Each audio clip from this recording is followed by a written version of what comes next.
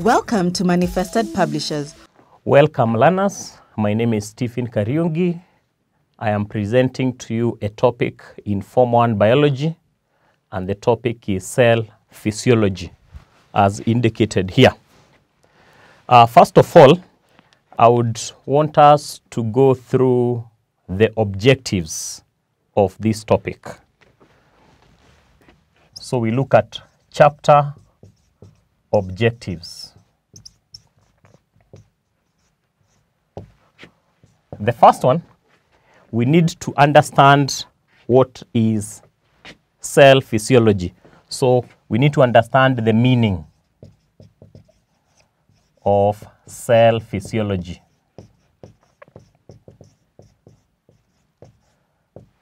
Number two, we should also be in a position to relate the cell physiology and the structure of the cell membrane.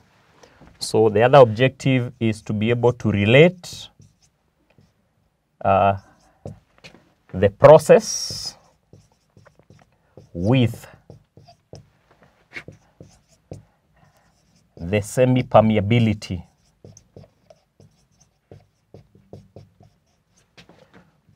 of cell membrane.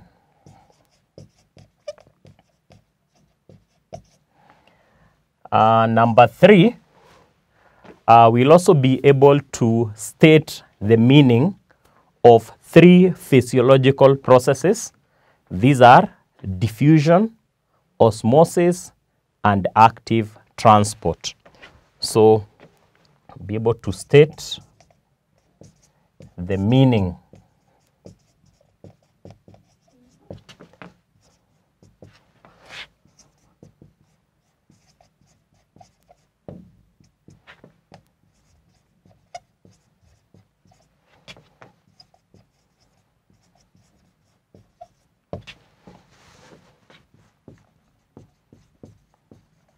So you'll be able to state the meaning of those three terms, the term diffusion, osmosis, and active transport. Objective number four, we'll be able to study the factors that affect these three processes, the factors that affect diffusion, osmosis, and active transport. So that is objective number four. Then we go to objective number five. We should also be in a position by the end of the topic to describe some of the experiments that one can carry out to investigate diffusion, osmosis, and active transport. So we should be able to describe experiments to investigate the above processes. And finally, the objective number six, we should be able to distinguish between turgor and plasmolysis. Those are two terms that we'll also be learning in the course of the topic and we should be able to distinguish them. So those are the objectives that we shall be fulfilling in the study of the topic cell physiology. So from there, uh, we'll embark on an introduction.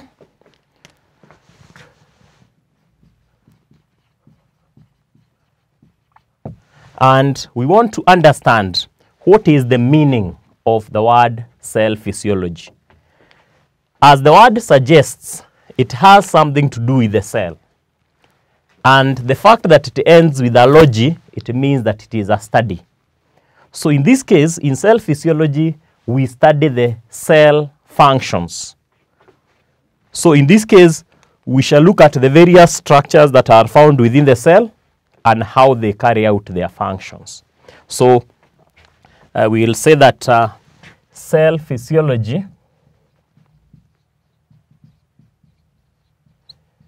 is the study of cell functions. And of course, in a cell, we know that we have different structures. We have the cell membrane, we have the mitochondria, we have the chloroplasts, if it is a plant cell. So we need to understand how those structures function within the cell. So basically, we shall be dealing with cell physiology. Now, uh, a very important uh, aspect of cell physiology that we also need to look at is the structure of cell membrane.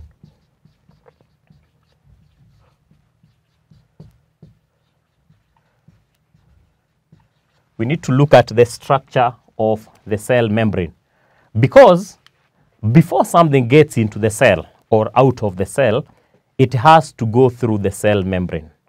So the cell membrane is a membrane or a layer that is made up of two things. Is made up of something that is called a phospholipid and a protein layer. So it's made of two layers made of two layers, i.e. phospholipid. I'll explain what is a phospholipid and a protein. So it's made up of those two layers. A phospholipid is a fat layer. Anything that ends with the word lipid, it means that it's either a fat or an oil layer.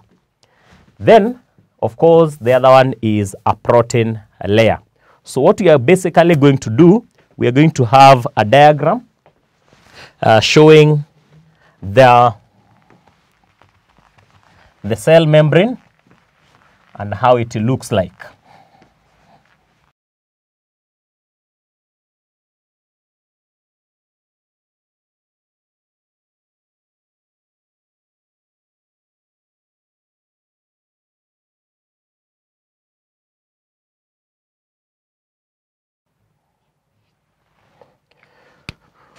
So the cell membrane looks like that. Uh, first of all, there is the first layer, assuming that uh, this is the outside and this is the inside. So this first layer is the phospholipid. Is the phospholipid layer. And then the one that is marked using a different color, uh, that is red, that is the protein layer. So basically we are saying that uh, a cell membrane is made of a phospholipid layer or a fat layer and a protein uh, uh, layer. Now, in between the protein layer, uh, there is a small opening here and that opening we, are, we call it the pore, P-O-R-E. It's a hole that allows substances to get inside the cell and also outside the cell. So that opening is meant for that. We shall look at the characteristics of the cell membrane. So this is basically uh, the cell membrane structure, which we have said is made up of two layers. There is a phospholipid layer on either side. Then there is the protein layer in between. There is a protein layer in between. So it doesn't have to be in one position. It can be in a number of positions. But basically, there is the phospholipid layer and there is the protein layer. Then in between the protein layer, there is a pore or there is a hole that allows materials to get in or out of the cell through uh, the cell membrane. And then the other thing that I want us to look at are the properties of the cell membrane.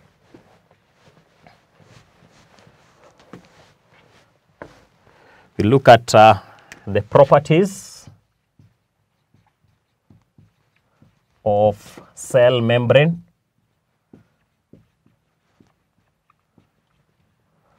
One, we say that the cell membrane is semi-permeable. The cell membrane has what is called semi-permeability. And that means that it allows only the small molecules to pass through, but not large ones. So it's only allowing the small molecules to pass through the pore. Yeah. Those, if molecules are small enough to fit the pore, they can pass through in and out.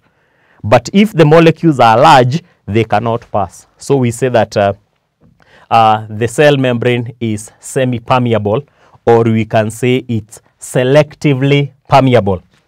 So you can also stroke that with selectively permeable. It means the same thing.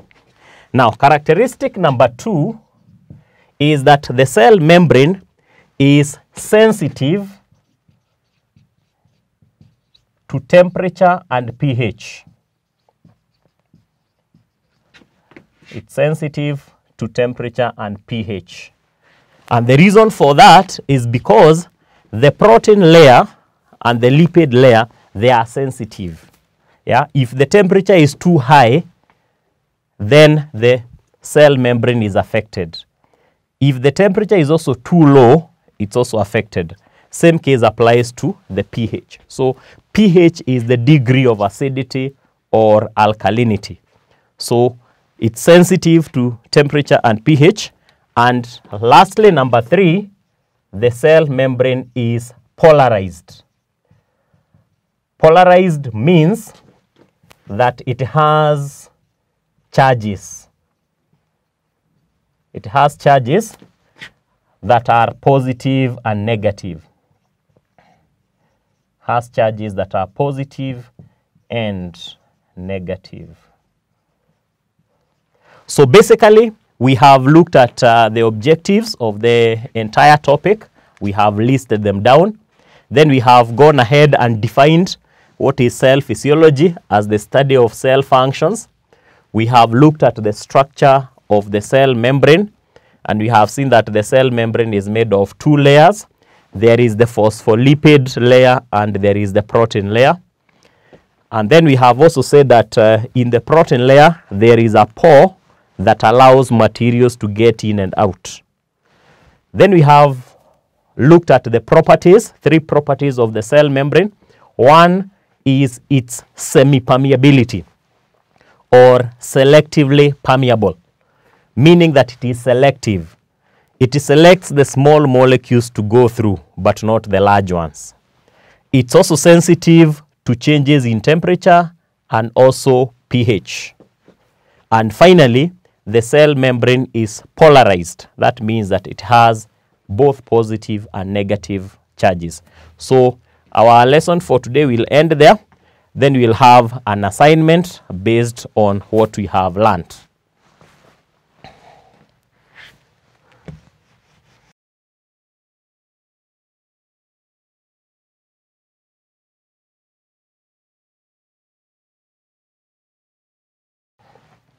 So the first question, we define the term cell physiology as we have learnt it. Two, we describe the structure of cell membrane, description of that structure. And then number three, we state three properties of cell membrane. So we are going to stop there for today and we shall continue from there next time. Goodbye.